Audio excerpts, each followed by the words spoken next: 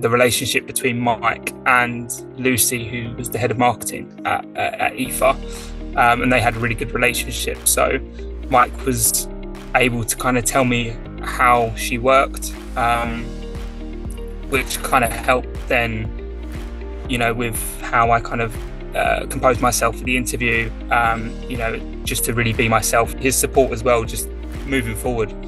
Um, you know, just my career progression, you know, shows that there's a real interest there. But Mike was very honest um, and and and kind of, you know, said uh, what are the benefits and the, you know, the the pros and pro, pros, the pros and cons for that for that role for me.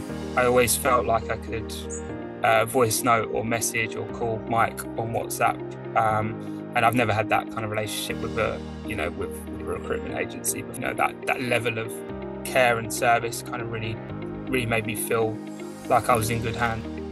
You know, building that relationship with Mike and him understanding kind of my needs now, I think is only going to then kind of you know um, help me in the future as well. And, and I think that's one thing I never looked at in a recruitment agency before as a, as a kind of lo- long term thing, whereas now I do. I see it as more of a kind of you know a, a really important part of your kind of progression and career